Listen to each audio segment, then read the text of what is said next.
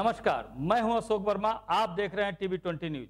आइए आपको दिखाते हैं देश और प्रदेश की तमाम खबरें। खबरों को देखने से पहले हमारे चैनल को सब्सक्राइब करें और बेल आइकन को दबाना न भूलें, ताकि हर खबर की करंट नोटिफिकेशन आप तक पहुँचती रहे।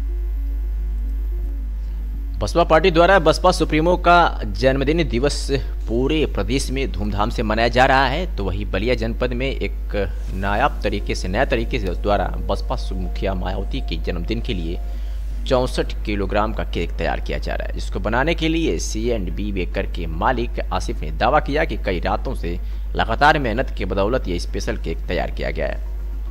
सी के मालिक ने यह भी दावा किया कि आज तक इस तरह का केक बलिया में नहीं तैयार किया गया होगा। हालाँकि इसको लेकर बसपा के नेता भी काफ़ी उत्साहित दिख रहे हैं। मायावती जी का चौसठवा जन्मदिन है तो हम लोग चौंसठ किलो केजी का केक बनवाए हैं। और हर साल से भी हम लोग सोचे हैं कि इस बार बेहतर केक हो और हमारा बेहतर कार्यक्रम भी हो।